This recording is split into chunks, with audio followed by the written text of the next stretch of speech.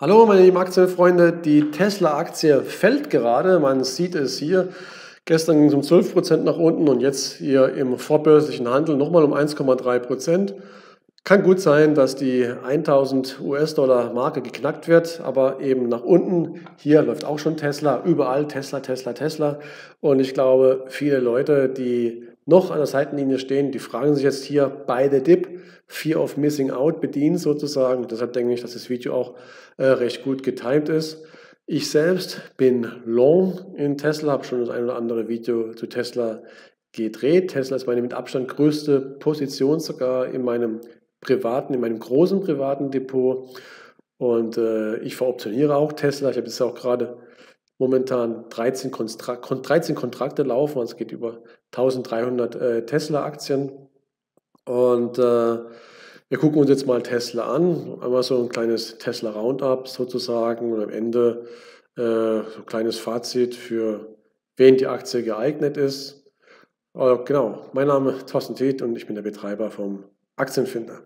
Ja, lange Zeit, ich habe der Tesla von der Seitenlinie auch anfangs beobachtet, als es mir noch zu riskant war, mein Sprüchlein, der eine oder andere wird es kennen, war damals hier so Pleite oder Weltherrschaft. Und äh, die Pleite ist ja nicht gekommen, bleibt jetzt nur noch quasi die Weltherrschaft übrig.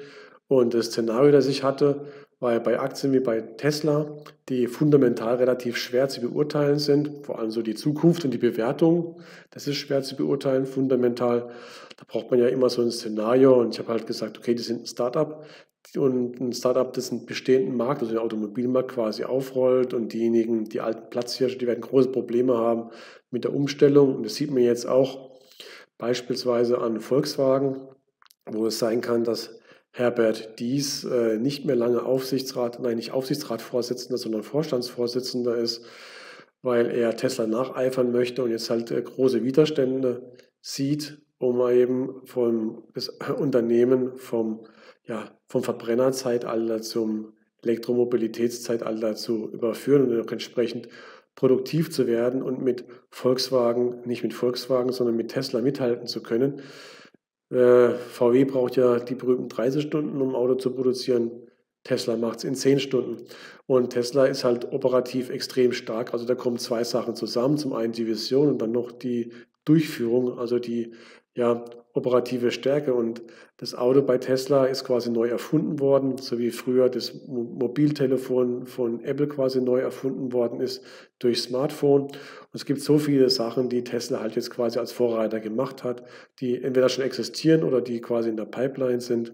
Over-the-Air-Updates, also man nicht mehr zur Werkstatt gehen muss, äh, Bedienung über Apps, wo dann zum Beispiel Benutzerprofil einrichten kannst. Das soll, glaube ich, bald kommen. Das heißt, egal in welchem Tesla du bist, du, den, du kannst den immer so wie dein Tesla schon in Windeseile konfigurieren lassen, weil du eben Benutzerprofil hast. Kannst dann auch Carsharing machen. Gibt es natürlich entsprechend unterschiedliche Benutzerprofile.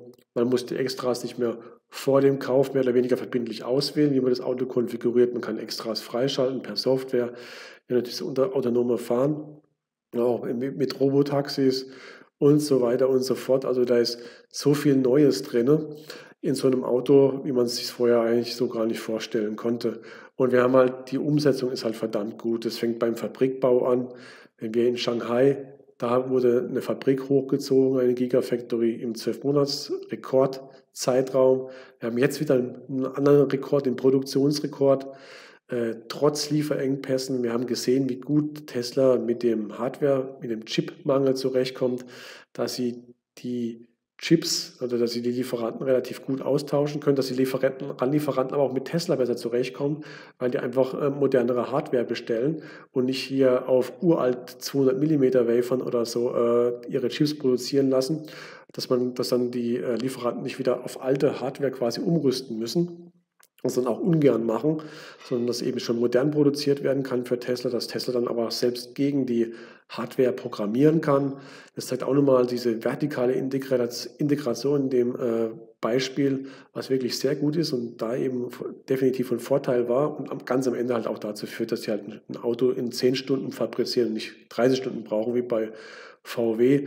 Und auch Stichwort Programmieren, diesen Dojo Supercomputer mit AI, mit dem riesen äh, Datenvolumen auch, was die haben, was dann auch dann zu maßgeschneiderten Versicherungsangeboten, wo sie dann quasi horizontal sich entwickeln beim Geschäftsmodell, was denn da rein mündet, auch wenn es vielleicht ein bisschen aus Not geboren ist, weil Tesla-Versicherungen oft teurer gewesen sind, teurer sind als klassische Automobile, aber sie nehmen dann die Herausforderungen an und äh, äh, meistern die dann auch.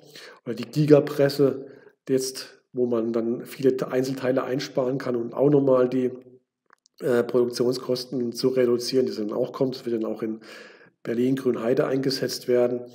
Und äh, also da läuft alles sehr viel. Der Track-Rekord ist super. Und äh, das bezieht sich aber auch auf SpaceX. Starlink äh, läuft das soweit auch. Da fliegen ja auch schon tausende Satelliten im niedrigen Orbit. Also es läuft einfach äh, ziemlich gut, muss man sagen. Und wir haben jetzt dann auch stark steigende Kurse gehabt. Und interessanterweise, obwohl die Quartalszahlen gut waren, wie ich fand, kamen die erstmal gar nicht gut an. Nachbörslich ist die Tesla-Aktie ja sogar gefallen. Kann ich mich gut daran erinnern, habe ich verfolgt. Und erst dieser Herzdeal ist irgendwie dann der Katalysator gewesen, so habe ich es mitbekommen, dass dann die Aktie wirklich durch die Decke gegangen ist. Und da gab es dann auch verschiedene ähm, Theorien, warum jetzt die Aktie so durch die Decke geht der Hairstil, das war so, so ein bisschen Brand-Awareness gewesen. Hey, 100.000 Autos werden jetzt auf einen Schlag bestellt. Elon Musk hat getweetet, deshalb verkaufen wir nicht ein Auto mehr. Wir sind quasi kapazitätslimitiert. Unser Problem ist das Angebot, nicht die Nachfrage. Aber es bringt natürlich schon was. Äh, die können ja dann die Margen erhöhen. Und das haben sie auch in den USA jetzt auch schon ein paar Mal gemacht. Äh, Herz kriegt ja auch keinen Rabatt weil einfach das Auto so stark nachgefragt ist. Ich hoffe, das wird nicht zu, zu Unmut führen bei Endkunden, wenn es dann so wie in der DDR ist, dass sie halt so lange warten müssen wie auf ein Trabi. Aber da muss man halt mal schauen. Es sind ja zwei Fabriken, zwei neue im Bau und die Kapazitäten auch in Shanghai werden ja auch weiter ausgebaut. Aber ähm, sie werden jetzt erstmal nicht ein Auto mehr deshalb verkaufen. Aber wie gesagt, es hat zur Bewusstseinsbildung mal geführt, denke ich, dass das hier eine große Sache ist. Und dann haben wir noch diesen sogenannten Gamma-Squeeze, der auch immer mal wieder äh, ins Feld geführt worden ist. Das heißt, Call-Optionen wurden gekauft und die Market Maker, um sich abzusichern, mussten dann Tesla-Aktien kaufen, die sie dann gegebenenfalls auch ausliefern können. Äh, wie viel es jetzt tatsächlich dazu beigetragen hat, das weiß ich nicht. Short Squeeze wird jetzt weniger die Ursache gewesen sein für den starken Kursanstieg. Das war beim alten Kursanstieg. 2019, äh, 2020, denke ich, das war da war stark der Fall. Jetzt ist die Leerverkaufsquote relativ schwach mittlerweile. Ich kann mir gut vorstellen, das kommt jetzt aber von mir, dass äh, ETFs, die physisch sozusagen den MSCI-Wert nachbilden, dann natürlich dann auch immer wieder Tesla-Aktien nachkaufen müssen, wenn Tesla stärker äh, gewichtet ist, dann im MSCI World. Das wird bestimmt auch noch einen Grund haben. Und äh, aktive Fonds habe ich bei Bloomberg gelesen, dass da viele Fondsmanager jetzt, die auch lange Zeit an der Seitenlinie standen, ebenfalls von dem Fear of Missing Out Syndrom äh, befallen wurden. Das betrifft ja nicht nur Privatanleger und jetzt ebenfalls dann halt in Tesla stark eingestiegen sind, um nicht halt die ganze Zeit an der Seitenlinie zu stehen und sich dann halt nachher vorwerfen zu lassen, warum bist du nicht dabei gewesen, kauft man auch noch rein. Also quasi ein ganzes Bündel an Gründen, die dann dazu geführt haben, könnten. Sie haben dazu geführt, dass da die Tesla-Aktie relativ stark gestiegen ist, sehr stark gestiegen ist, bevor jetzt die Aktie wieder korrigiert. Interessant ist aber, wenn wir jetzt den Kursanstieg mal anschauen, wir haben hier im Aktienfinder so eine Watchlist gemacht und dann sieht man erstmal klar, man weiß es, die Marktkapitalisierung von Tesla ist größer als die Marktkapitalisierung aller anderen Automobilhersteller der Welt zusammen, sogar um ein Vielfaches. Ich würde mal sagen, vielleicht Faktor 2, Faktor 3, habe es nicht ausgerechnet. Fast eine Billion Euro Marktkapitalisierung, war auch mal drüber, bevor dann eben der Kursdämpfer, kam.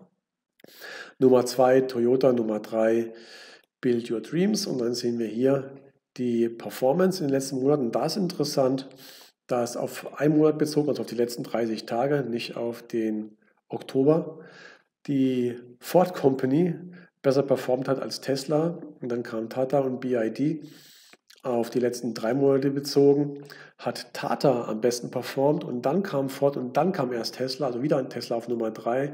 Auf die letzten sechs Monate bezogen ist Tesla sogar auf Nummer vier abgerutscht.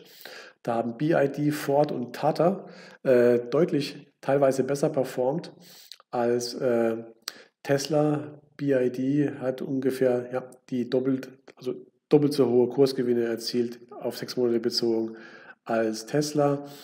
Und man muss schon auf fünf Jahre, also ein bisschen länger zurückgehen, sage ich mal, damit man dann sieht, okay, Tesla ist doch ein Ten-Backer und die haben doch ganz schön was an Performance äh, geholt. Und das ist, denke ich, aber schon ganz interessant, also insbesondere auch, dass man zum Beispiel hier relativ oft gesehen hat, dass Tata weit vorne ist. Sie würden sich also auch mal lohnen für eine Aktienanalyse. Wenn man jetzt Tesla mal anschaut, so ein bisschen hier fundamental im Qualitätscheck im Aktienfinder, dann sieht man schon, wie unheimlich stark die geworden sind, wie sich das entwickelt hat. Wir hatten hier eine lange Durststrecke, beispielsweise beim Gewinn, auch beim Cashflow, hier operativer und vor allem Free Cashflow, wurde lange Zeit Geld verbrannt und jetzt ist man quasi positiv und geht dann mehr oder weniger dann hier die Post ab, auch beim Gewinn. Das ist dem Umstand zu verdanken, dass wir zum einen stark steigende Umsätze haben, die steigen aber schon länger relativ stark.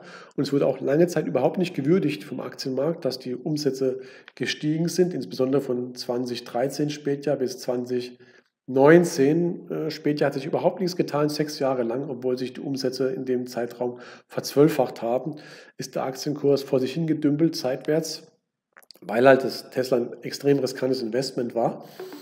Und es hat noch der steigenden Margen bedurft, damit dann tatsächlich der Markt sieht, okay, das Unternehmen ist tatsächlich viel wert. Also wir hatten 2013 immer, wir hatten also lange Zeit, auch schon von 2013 noch länger, immer negative Margen gehabt. Die waren sogar noch 2018 negativ aufs Jahr bezogen, erst dann 2019 ganz leicht hauchdünn positiv und jetzt dann operative Margen von 6% auf die letzten zwölf Monate bezogen sogar auf die letzten vier Quartale bezogen, sogar 9,5 Prozent. Und hier sieht man, wie dann immer weiter steigen sollen. Kann, kann man hier reinzoomen, dann sieht man das Ganze noch viel besser hier, wie die Margen schön steigen. Und ich habe mal geguckt, die Margen mittlerweile von Tesla sind schon relativ im oberen Mittelfeld. Es gibt jetzt nur vier Automobilhersteller mit noch höheren Margen. Ferrari hat die mit Abstand höchsten Margen. Ist auch nicht ganz billig, das Auto. Dann noch Volvo, BMW und Toyota sind noch vorne. Und vermutlich wird Tesla relativ bald an Nummer 2 sein hinter Ferrari, was die Margen angeht.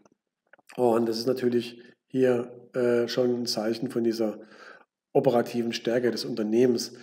Das hier, die Bilanz, ist auch ein Zeichen der operativen Stärke des Unternehmens, insbesondere wenn man mal guckt, wie äh, liquide Mittel und Schulden sich entwickelt haben. Hier die Schuldenquote geht nach unten, das heißt, die Schulden werden zurückgeführt und die liquiden Mittel, die werden immer größer und Tesla konnte, könnte jetzt seine kompletten zinstragenden Schulden hier unten, die noch in der Bilanz stehen, in Höhe von hier 10,1 Milliarden quasi nur mit den liquiden Mitteln hier tilgen in Höhe von 16,5 Milliarden ungefähr, wo auch ein paar Milliarden, eine Milliarde oder ein bisschen mehr an Bitcoin dabei sind. Und es ist auch, wie gesagt, in der Bilanz zeigt sich die operative Stärke ebenfalls. Dann haben wir hier die Anzahl ausstehender Aktien, auch interessant, weil ähm, normalerweise äh, werden Aktien ausgegeben, wenn man mehr Kapital braucht. Tesla braucht jetzt kein Kapital mehr, aber von 2019 auf 2020 und auch die letzten Monate, neun Monate bezogen, sind, hat sich die Anzahl der ausstehenden Aktien erhöht. Hat auch mit Elon Musk zu tun, der ja kein offizielles Gehalt bekommt. Das heißt, er verdient ja kein Geld offiziell, der kriegt ja immer, aber er verdient sein Geld quasi in Form der Aktien. Und da hat er ja auch den lustigen Tweet gemacht, ob er 10% seiner Aktien verkaufen soll, damit er auch mal in Genuss kommt, Steuern zu zahlen und quasi was Gutes zu tun für die Allgemeinheit. Also nicht nur die Welt retten über sein Geschäftsmodell, sondern auch die Welt retten mit der Steuerzahlung sozusagen. Und äh, die Twitter-Community hat ja abgestimmt mit 57 Prozent. Ich habe auch übrigens auch abgestimmt für Ja mit 57 Prozent, dass äh, er die Aktien noch verkaufen soll. Und das hätte dann auch zu dem, das war dann der Auslöser für den Kurssturz hier. Ja, für den Dip, den man jetzt vielleicht kaufen kann. Dann kommen wir jetzt noch dazu. Und das ganz Schwere ist natürlich dann die Bewertung von Tesla weil Tesla lässt sich jetzt nicht so einfach bewerten wie eine klassische Wachstums-, also wie, ein klassisches Qualitätsunternehmen mit äh, stabil steigenden Gewinn, schon aus der Vergangenheit kommend. Bei Tesla sieht das Ganze ja relativ wild aus. Da haben wir hier die extrem lange Verlustphase. So, man muss mal logarithmisch Chart. Hier sieht man nochmal die lange Seitwärtsphase hier von äh, Tesla, dass der Aktienkurs also lange Zeit mehr oder weniger seitwärts rumgedümpelt ist von 2013 Spätjahr bis Spätjahr 2019, also sechs Jahre lang, obwohl sich die Umsätze schon vervielfacht hatten. Und erst dann ist die Aktie durchgestartet. Wir sehen aber hier auch nochmal eine Konsolidierungsphase jetzt, nach dem, nachdem die Aktie mal richtig schon fast an die 900 Dollar äh, kam. Eine relativ lange Konsolidierungsphase und jetzt geht es halt entsprechend wieder aufwärts und jetzt haben wir wieder eine Korrektur. Und wenn man sich mal hier die KGVs anschaut, das ist auch noch einfach mal so zur Verordnung, wo wir stehen. Das sieht man hier vielleicht auf den, na, nehmen wir erstmal die KCVs hier. Dann sieht man Tesla, also hier einfach ganz oben, alles dreistellig, jedes Multiple ist dreistellig, auch immer bezogen auf den letzten Iststand, letztlich vier Quartale, auf operativen Cashflow bezogen, Multiple von 115, alle anderen äh, höchstens mal 36 bei Porsche, wobei man auch bei, dann immer gucken muss, ob das tatsächlich repräsentativ ist. Kann man gucken, indem man hier reingeht, sich mal operativen Cashflow anguckt, alles andere mal wegmacht. Ja, kann man schon sagen, ist repräsentativ.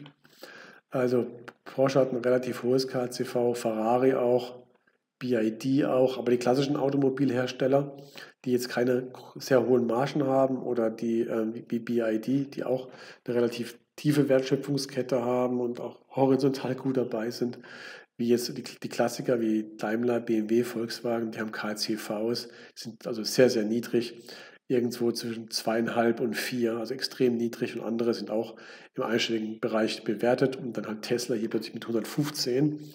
Das ist natürlich schon extrem. Bei den KGVs ist es ähnlich. Also hat man hier KGVs oft im einstelligen Bereich, bisschen zweistellig, auch hier wieder BID, Ferrari, Geely, die agilen und die mit extrem hohen Margen. Und äh, Tesla halt, je nachdem, bilanziert und Bereichen Gewinn nehmen zwischen 200 und 330. Also quasi eine ganz andere Welt, ja. Und da muss man jetzt halt wirklich hingehen, so wie es auch einige YouTuber und so weiter machen und sich eine Excel-Tapete bauen und sich dann überlegen, äh, wie dann Tesla in die, mit dem aktuellen Preiskurs in die Bewertung hineinwächst, was natürlich schon relativ aufwendig ist, kann man hier mit einer ähm, Bewertungen für äh, stabile Qualitätsaktien wie im Aktienfinder so äh, nicht hinkriegen, sage ich jetzt ganz ehrlich. Da kann man sich halt die Kurse angucken und dann natürlich auch die Prognosen, kann man das auch dann für sein eigenes Excel benutzen. Und man sieht auch hier die äh, Schätzungen, wie extrem die abweichen, wenn man jetzt die Extremschätzung hat, hoch und tief. Aber beim bereichten Gewinn, da ist alles dabei, zwischen 4 US-Dollar und 12 US-Dollar 60. Und dann gibt mir natürlich hier noch die Konsensschätzung ausgegeben. Äh, für den bilanzierten Gewinn haben wir eine ähnlich fantastische Spanne und für den operativen Cashflow. Da ist es relativ eng. Da ist es relativ eng. Das heißt, wenn man wirklich hingehen wollte und man würde die Aktie versuchen zu bewerten mit der dynamischen Aktienbewertung, dann sollte man auf den operativen Cashflow ausweichen, weil der eine höhere, in Anführungszeichen, ja, Sicherheit hat als der Gewinn. Und er ist schon relativ lang positiv, positiver als jedenfalls der Gewinn. Aber ähm, wie gesagt, das ist eine Geschichte, auch wenn das jetzt halbwegs ordentlich aussieht hier, jedenfalls ordentlicher als das, was viele Analysten geschätzt haben, würde ich mal sagen, äh, ist trotzdem stark mit Vorsicht zu genießen. Das ist eine Aktie, wo man ein Szenario braucht, ein positives Szenario, man glaubt ans Geschäftsmodell, man glaubt ans Management, man glaubt an den Markt, man glaubt an das Wachstum und dann will man langfristig dabei sein. Jetzt geht es auch schon ins Fazit. Wenn das alles zusammenkommt, das war auch bei mir der Fall, dann kann man reingehen und dann kann man auch die Kurskapriolen äh, aussitzen, zum einen oder gegebenenfalls auch sukzessive einsteigen. Das würde ich hier auch raten, dass man sukzessive einsteigt und nicht alles auf eine Karte setzt und sagt, oh, jetzt ist die Aktie mal um 12% gefallen, jetzt gehe ich all in. Die Aktie kann nochmal um 12% oder noch mehr um 20% fallen. Also da würde ich raten, entweder mit Sparplan reingehen, tatsächlich, man kann die Aktie ja auch besparen, oder sukzessive Einzelkäufe und dann halt auch entsprechend an die Aktie glauben. Das Depot diversifizieren, weil da kann was schiefgehen. Hohe Chance, aber auch hohes Risiko. Ein Risiko, ganz, ganz hohes Risiko natürlich in Form von Elon Musk als Kopf von dem Ganzen. Ähm, bei mir sieht es ein bisschen anders aus. Wenn man halt relativ lang schon die Aktie im Depot hat, dann äh, nimmt sie halt einfach mehr mehr ein im, im, im, Depot und ist dann halt auch irgendwann übergewichtet, wenn man es nicht verkauft. Aber man will die Aktie auch nicht unbedingt verkaufen, weil man keine Abgeltungssteuer bezahlen möchte und man will da längerfristig vom Erfolg partizipieren. Äh, das muss man halt auch jeder für sich entscheiden. Ich lasse es einfach laufen. Gut, dann das war auch im Prinzip schon das Fazit gewesen. Also bei The Dip, wenn du überlegt hast, in Tesla einzusteigen, dann kannst du eh nie sagen, ob der richtige Moment gekommen ist, jetzt ja oder nein. Da würde ich sagen, fang einfach mal irgendwann an, äh, in Tesla zu investieren, aber mach das Ganze sukzessive mit dem Geld, das du langfristig nicht brauchst.